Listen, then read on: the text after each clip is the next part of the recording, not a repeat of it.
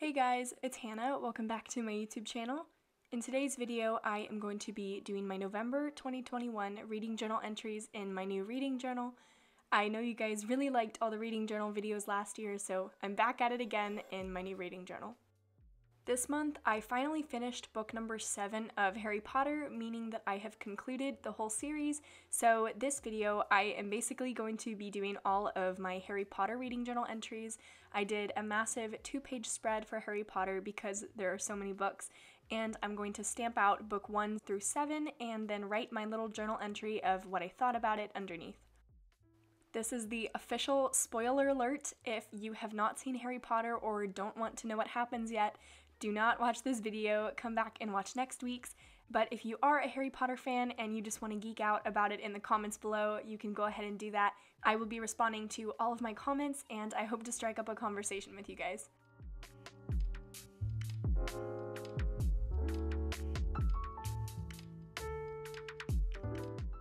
My journal entry for book one is a little bit short because I feel like this book, it's the beginning of this series, so it's pretty straightforward and there's no questions answered yet. So my journal entry for book one is one of the cutest books and films ever. All of the children are so young and innocent, and this book was an amazing foundation for the rest of the series. If you have seen Harry Potter, I'm curious to know what your favorite book and character is. Go ahead and comment that down below. I think it'll be really interesting to see what characters we all find that we liked and which book was our favorite. My journal entry for book two is an amazing sequel to book one, yet here these books feel more like one offs, and the overall series plot has not quite felt prevalent yet. We begin to see Voldy, or Voldemort, as I say, but soon after this book, he disappears for a while, which is suspicious.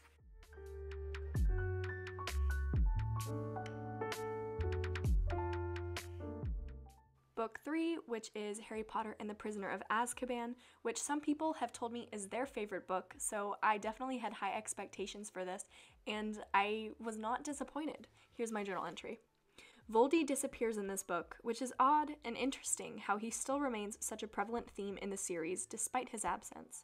Lupin, a very important character in the series, is introduced as the Defense Against the Dark Arts professor, but is quickly turned on by the squad due to him being a werewolf. We also uncover the Marauders map and discover tidbits about Harry's parents. This was an amazing book, and I can see why this is some people's favorite book. It could be a single. Book 4, The Goblet of Fire. This is where I see the series take a turn to a much darker story. Cedric dies, and Harry comes face to face with Voldy and escapes yet again. We learn that there are other wizarding schools and that there is a professional Quidditch league, which is cool.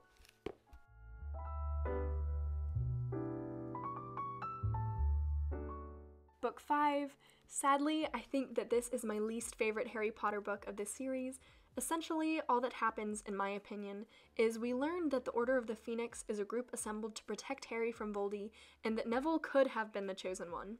Also, I did find it interesting how Rowling introduced a villain other than Voldy so late in the series. Personally, I hate Umbridge more than Voldemort.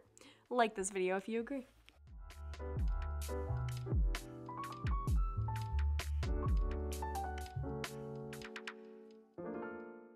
Book 6 was my longest journal entry, and I think I might have to crown it my favorite book. It's either Book 6 or Book 3. Wow, does a lot happen in this book. Harry and Ron cheat in potions using the Half Blood Prince's cheat codes until it goes too far and Harry really hurts Draco. The darkness in Draco is revealed throughout this book, and I started to feel really bad for him. He had no choice.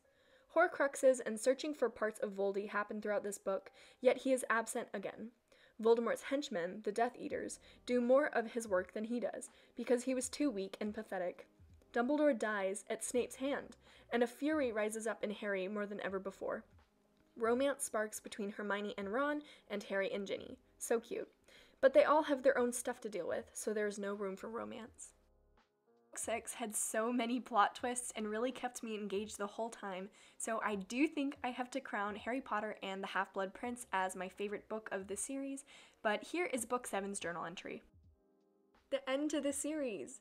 This, surprisingly, was also not my favorite book, but it was a good end to the adventure. The Battle of Hogwarts commences, and Voldy dies in an all too normal way. The Elder Wand is randomly introduced, but is supposed to be really important. Dot dot dot. Although Ron and Hermione end up together, and so do Harry and Ginny, so I'm happy. Lovely book series. In the end, I do understand why people like this book series so much. I do too. I feel like Rowling did a really good job of intertwining fantasy elements like magic and Hogwarts and things like that with some real life struggles that teenagers face, like romance and figuring out their friendships and priorities and things like that. So, on my five star list, I decided to include Harry Potter and the Prisoner of Azkaban, the third book. Harry Potter and the Goblet of Fire because I thought all of the Quidditch stuff and Beauxbaton and Durmstrang and all of the other magical castles around the world was cool, and of course, Harry Potter and the Half Blood Prince. I also want to be clear that I did not read the whole seven book series of Harry Potter in November. I simply finished it in November, therefore, I am finishing off the last book on the bookshelf here. I wanted to include every book in my November reading journal video so that I could have them all together in a inclusive Harry Potter spread.